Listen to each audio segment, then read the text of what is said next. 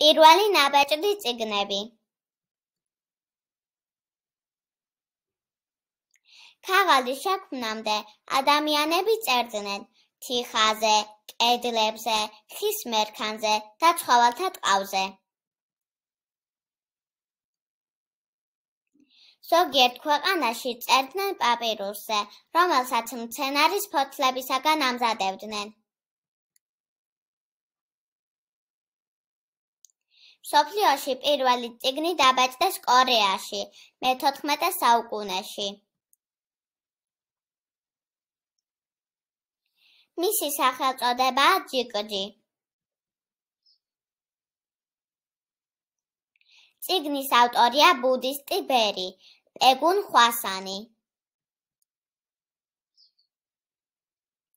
ევროპაში პირველი წიგნი დაიბეჭდა გერმანიაში მე-15 საუკუნეში.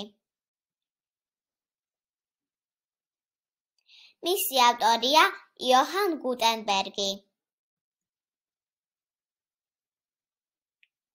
წიგნის სათაურია გუტენბერგის ბიბლია. პირველი ქართული წიგნი დაიბეჭდა მე-17 საუკუნეში ქალაქ რომში. ეს იყო ქართული ანბანი ლოცვებითურთ.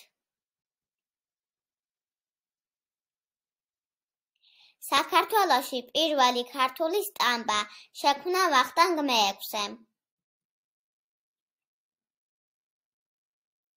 სტამბაში პირველი პირველ წიგნად სახარება დაბეჭდეს.